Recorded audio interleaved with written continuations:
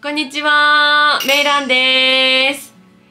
えー、今回はリクエストの多かったスノーマンのラウルくんについて占いをしていこうと思います。えー、ラウルくんは個人的に思うのが、あメンズノンノのモデルとして連載、えされていましたよね。でも急に卒業があ決まってしまって、で、急にえなにわ男子の道枝くんの連載が決まったので、裏で何かあったんじゃないかなって思ってます。事務所の意向みたいなものもあったんじゃないかなって勝手に推測してるんですけど、占いでは果たしてどんな風に、え、出るのでしょうかえー、ラウルくんの本音だったり活動の今後について占いをしていこうと思います。そしていつもの前提なのですが、あくまで占いですので、え占いの観点からわかることを皆さんにお伝えしていきます。あくまで未来を保証するといったものではございませんので、あらかじめご了承ください。それではカードを展開していきます。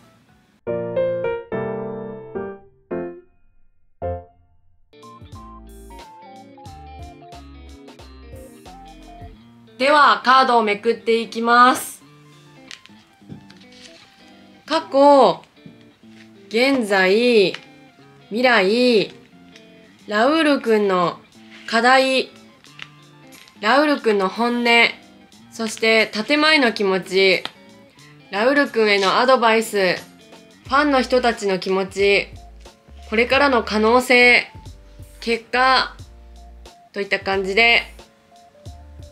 占っていきます。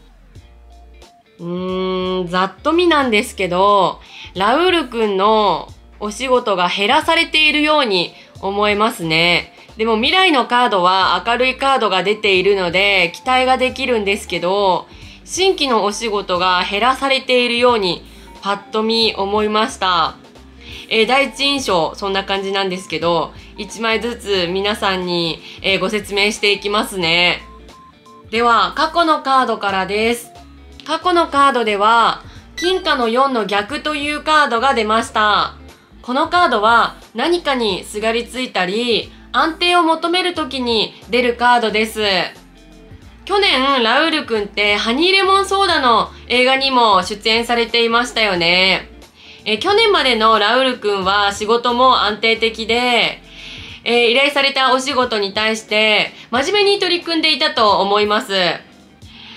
えー、体当たりで挑む仕事も多かったと思うんですよね。えー、ただこのカードが出た時って、何かを手放さなきゃいけない時が来ることが多い印象にあるんですね。そういう傾向があると私の経験上あ思っているんですけど、えー、去年までのラウル君は仕事がいっぱい来ていたと思うんですけど、急にそのメンズノンノの卒業もそうですけど、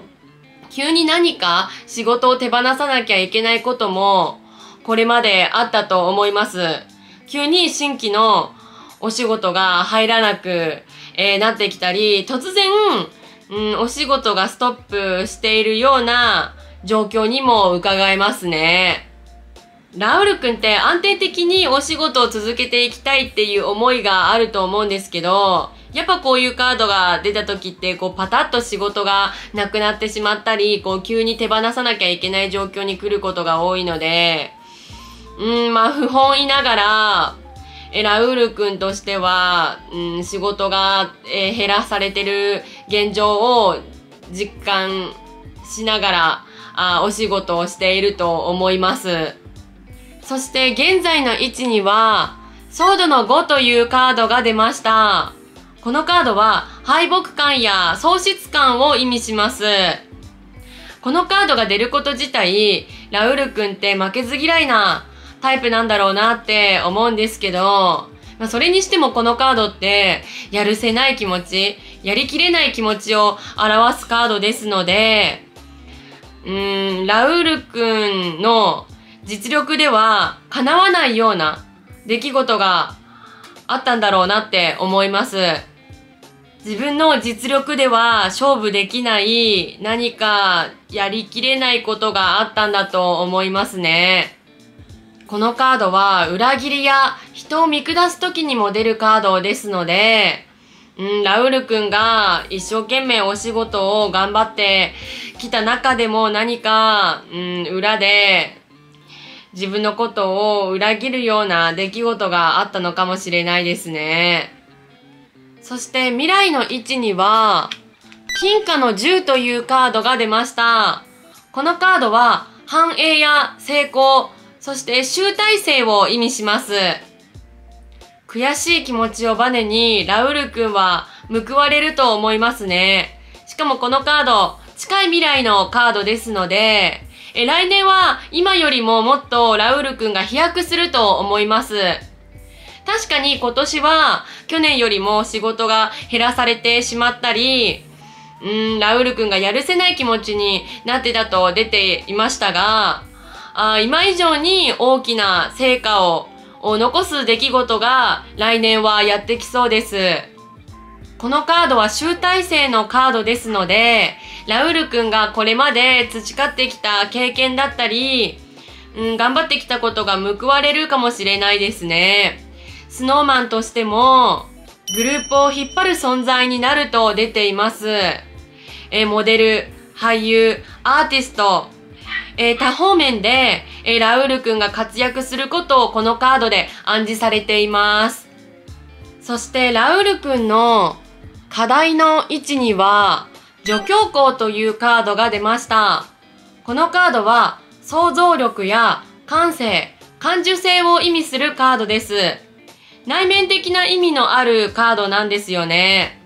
ラウール君ってスノーマンの中でも最年少で、え最年長の深沢くんとは10も年が離れていますよね。そんな中でセンターを務めるっていうプレッシャーもあったと思います。でも、うん、今のラウールくんに課されていること、課題って、そのプレッシャーをも跳ねのける精神力だと、このカードに暗示されています。内面的な問題を乗り越えないといけないんですよね。精神力を鍛え上げないといけないってこのカードに出てるんですけど、いろんなことを経験してきたラウール君だからこそ乗り越えられる試練だとは思うんですよね。未来のカードでは繁栄や成功を表すカードも出ていますので、きっと今がラウール君にとって正念場なんだと思います。そしてラウール君の本音の位置にはカップのエースの逆というカードが出ました。このカードは不安定、不満足、えー、情緒不安定、寂しい気持ちになっている時に出るカードです。きっとラウール君って考えなくてもいいことまで今考えちゃってると思うんですよね。すごく感傷的になっていると思います。スノーマンとして頑張っていきたいっていう気持ちはあるけど、なんかこう自分の今やっていることが無駄に思えてきてしまっていて、うん、自暴自棄になっていることの表れでもあるんですよね。自分ではどうしようもできないような出来事がきっと今あるんだと思います。頑張っても報われないなって思うラウール君の気持ちがこのカードに現れています。ラウール君個人としてはすごく頑張っていると思うんですよね。自分でできることは何でもしていると思います。でもそれがなんだか空気をつかむような感覚になっていると思うんですよね。頑張ってはいるけど、結果につながらなくて虚しい気持ちになっています。そして、ラウール君の建前の気持ちの位置には、あワンドのナイトの逆というカードが出ました。このカードは、不意をついてきたり、予測不可能な意味があるんですよね。建前と本音で、非常にギャップのあるカードが出ているんですよね。本音では、あラウール君の不安定な気持ちがあ現れていますが、あ建前としてはあ、これからファンの人たちの前で意表をついてくるような発言、言動をしてくると思います。急に思い立ったかのような感じで、ラウール君の方から何か驚きの発言、行動をしてくると思うんですよね。でもそれは、あ思いつきで言ってることではなくて、今に始まった問題ではなくて、うん何かあ抱えているものがあっての突然の発表、行動をこれからしてくると思います。こう聞くとなんだか恐ろしく感じてしまわれる方も多いと思うんですけど、未来のカードでは成功や繁栄を表すカードが出ていますので、まあそんなに心配する必要はないと思うんですけど、これからちょっとした驚きの発言、発表があるかもしれないですね。そしてラウル君へのアドバイスの位置には、ワンドの10の逆というカードが出ました。このカードは、抱えきれない重荷やキャパオーバーな意味があります。ラウール君は今、ゆっくり休む時に生きているんですよね。そしてこのカードを歴史的に言えば、このライダータロットを作ったウェイト先生は、ワンドの10の逆のことを、悪巧み、あとは他人に利用されている時に、えー、出ると解釈しています。他人に利用されるって最悪ですよね。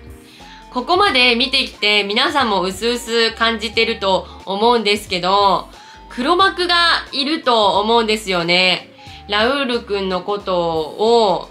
潰そうとしている黒幕がいるのかもしれません。このカードってどんなに自分が働いて頑張って犠牲になって、うん、キャパオーバーになったとしても、それが正しいっていうわけではないんですよね。誰かに利用されて、悪用されて、うん、自分がキャパオーバーになっている状態なのだから、問題は根本にあることを意味してるんです。ラウール君が本音でも感じているように、うーん、一人ではどうしようもできない問題があるので、うーん、がむしゃらになりすぎず、今は頼れる人に頼って活動をしていった方がいいとアドバイスに出ていますね。そして、周りの人たちの評価、ファンの人たちの気持ちのカードでは、ワンドのエースというカードが出ました。このカードは、やる気、奮闘、がむしゃらな気持ちを意味しています。ファンの人たちは、もうラウール君の頑張りを、ちゃんと見てくれていると思うんですよね。人一倍努力して、うん、頑張っているところを評価しています。ファンの人たちからしたら、ラウール君の存在がもっと報われてほしいと思っているかもしれないですね。ラウール君の頑張っている気持ちは皆さんに届いているはずです。ラウール君のことを応援しているファンの人たちってすごく優しいなってこのワンドのエースを見て思ったんですけど、うん、自分たちで何かできることはないかなとか、ラウール君のために何かできることはないかなって考えている人たちも多いと思います。ファンの人たちにはすごくラウール君って恵まれていると思いますね。そしてこれからの可能性の位置には、ソードの3というカードが出ました。このカード見るからにハートに剣が刺さってて嫌な印象を受けると思いますが、あ争いに巻き込まれたり、えー、不幸の象徴でもあるんですよね。私たちには見えない裏側で何か大きな波乱が起きそうな予感です。ラウール君が何かに巻き込まれそうな暗示なんですよね。このカードは別れや離別を意味するカードなので、本当は皆さんに言いたくないんですけど、スノーマンから離れる可能性ももしかしたらあるかもしれないですね。でも、でもですよ、あの未来のカードがすごく明るいカードなんですよね。なので、最悪の事態は免れるのかもしれないですね。もしこれが逆の位置で出ていたら、うん、その可能性が大きかったかもしれないですが、まあ、そういう可能性も少なからずあるということで、カードに出ています。そして結果の位置には、鳳凰の逆というカードが出ました。このカードは変わらない人、現代に改まらない人を意味するカードです。このカードは自分よりも目上の人を表すカードでもあるので、ラウール君の上司となる存在で、うーん、考え方が自分とは全く合わない人がいるみたいですね。どれだけラウール君が自分の意思を伝えても変わろうとしない存在を表してるんです。この法王という存在のせいで、ラウール君の活動に支障が出たり、うーん、制限がかかってしまう可能性があるんですよね。理不尽極まりないカードなんですけど、でもそういう出来事を乗り越えた先に、ラウール君が、うん、悔しい気持ち、悲しい気持ちを乗り越えた先に報われる未来が待ってると、今回の占いでは出ています。はい、ということで皆さんいかがだったでしょうか？うーん、シビアなカードがたくさん出てしまいましたよね。でも、ラウル君にとって今が一番正念場の時期だと思うし、今の悔しい気持ちを乗り越えて大きな成功があると信じて、えー、皆さんでラウル君のこと、スノマンさんのことを応援していきたいものですね。えー、ということで、今回の動画をご覧いただいて、私に個人鑑定をしてもらいたいと思われた方は、概要欄に詳しい詳細が載ってありますので、ぜひそちらもチェックしてみてください。それではまた次回の動画でお会いしましょう。バイバーイ。